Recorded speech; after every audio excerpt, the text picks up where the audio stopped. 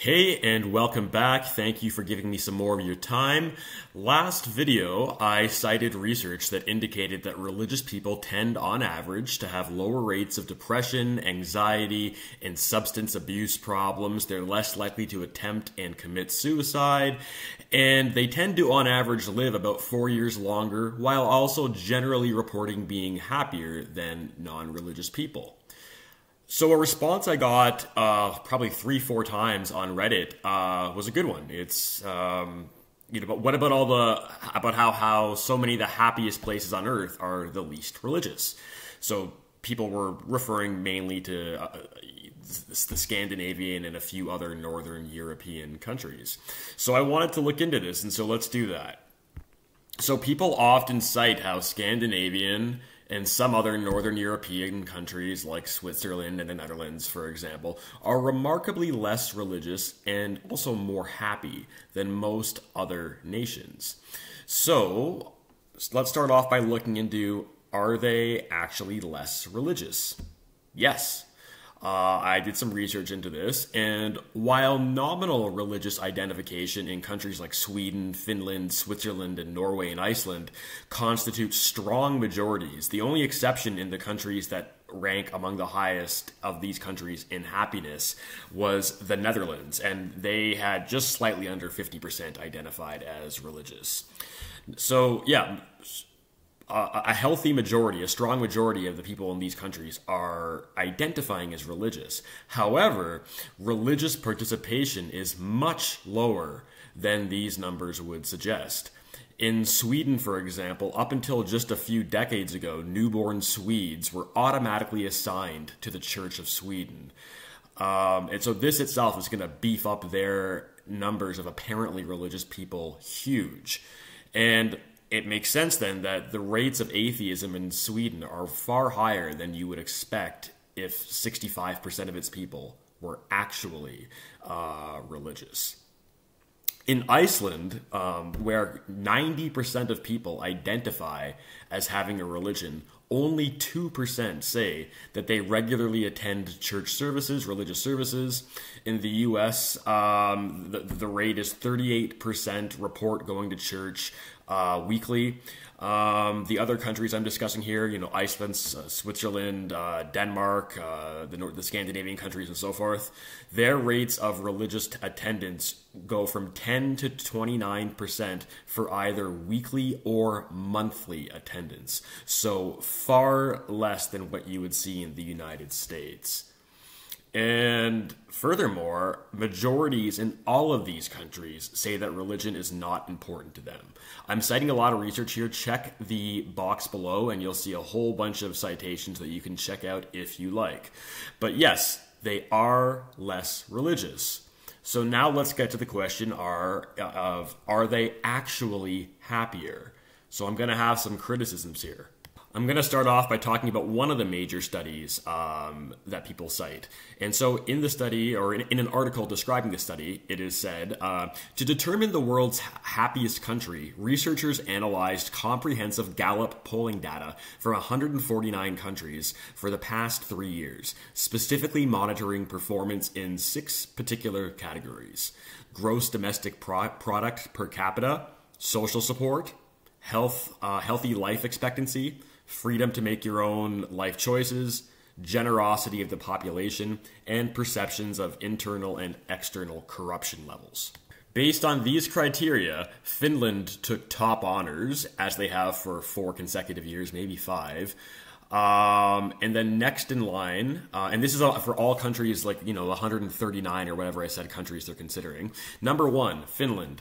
Uh, number two, Denmark. Number three, Switzerland. Number four, Iceland. Then the Netherlands. Then Norway, and then Sweden. Um, so they pretty much uh, they either had all or most of like you know the top seven or so spots um, from this type of survey.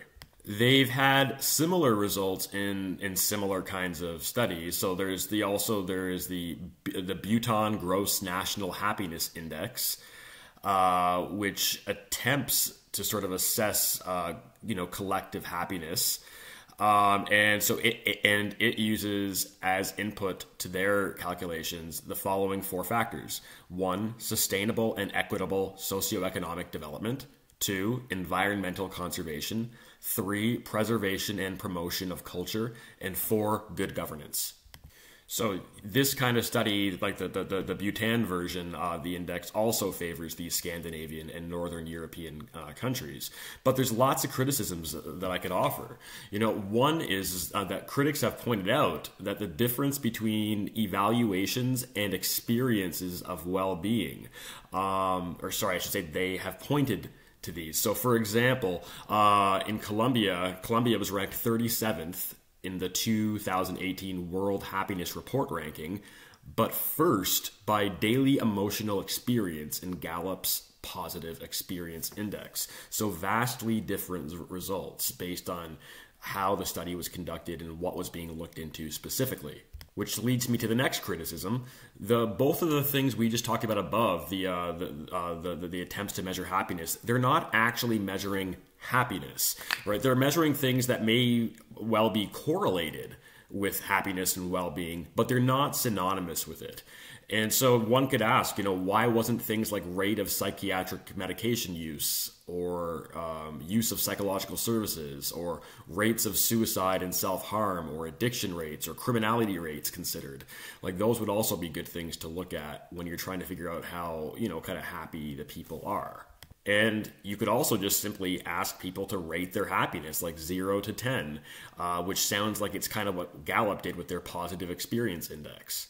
And so, based on these criticisms, I, I, I started looking around for some other indicators of well being and not well being, and happiness and unhappiness. So, I looked up uh, suicide rates by country. Um, there was 183 countries included in this ranking. Um, and we're going from the least amount of suicides. So, like the number one ranked country would be the one with the fewest suicides, all the way to 183 that has the most.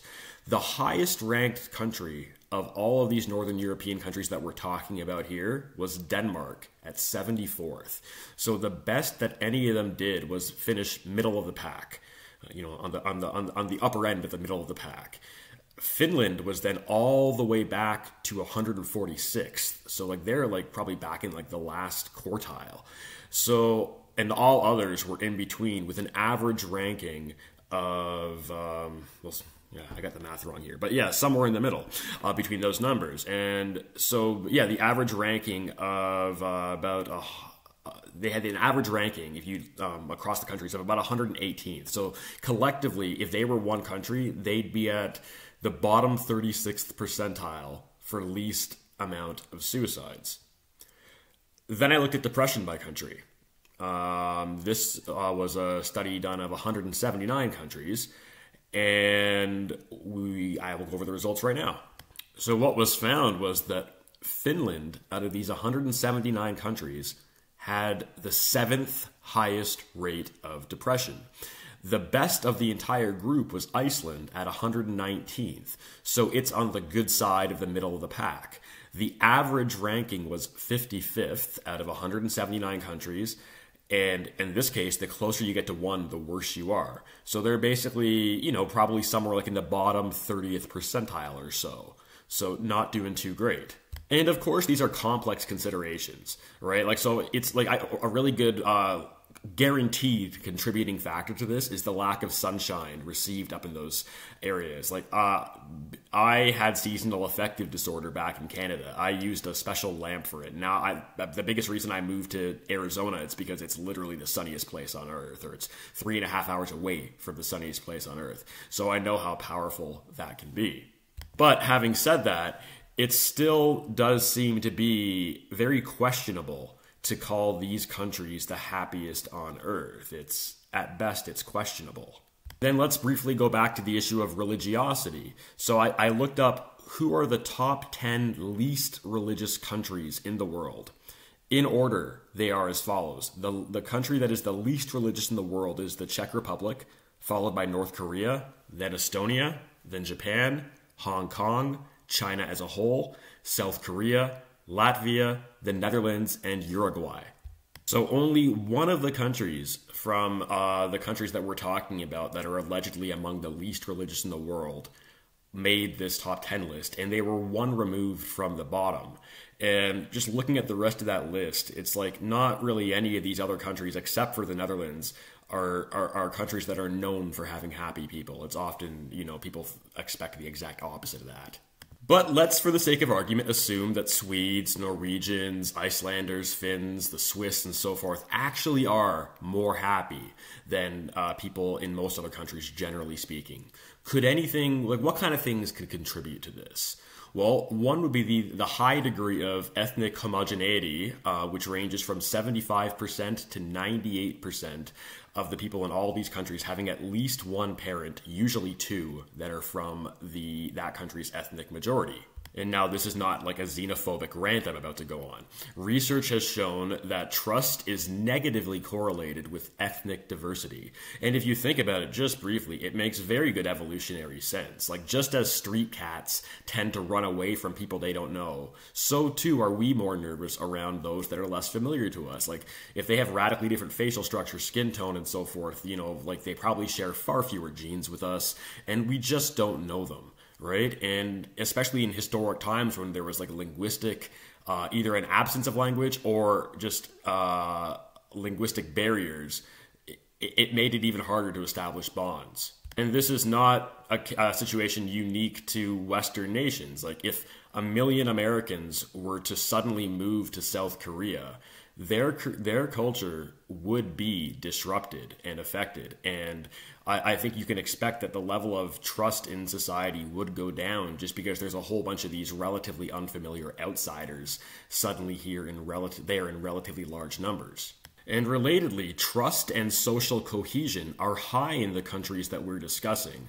However, social cohesion is being viewed by some as being at risk in Sweden, and the reasons they cite, and this is the uh, Open Society Foundation. I think this is, a, I think I believe that's George Soros, isn't it? Um, um, they they find that uh, the social social cohesion in Sweden is increasingly at risk, and they cite rising inequality, economic inequality, and rising ethnic diversity as likely top tier contributing factors to this. So, next, let's move on to economic inequality, since I just alluded to it. All of the countries that we're talking about here, you know, Switzerland, Iceland, all of them, they are all wealthy social democracies which allow for notably less economic inequality than, for example, the United States. So a major measure of this is called the Gini coefficient. Uh, it's a measure of economic inequality uh, ranging from 0% to 100%. 0% refers to would be a country that was perfectly equal like everyone had literally exactly the same uh, a, uh, Gini coefficient of 100% refers to maximal inequality. So this would be a country where where one person has everything and everyone else has nothing. Um, in a study, uh, 169 countries were included. And the countries that we're talking about here all did very, very well in terms of um, they were they had among the least economic inequality. Uh, so you can like judge that. I, I, should take away the well, but just yeah, they they were among the least unequal. So let's look at it. Iceland uh, was the tenth most like economically equal country considered out of 169 i think i said uh, then denmark finland and norway were 13th 14th and 15th respectively.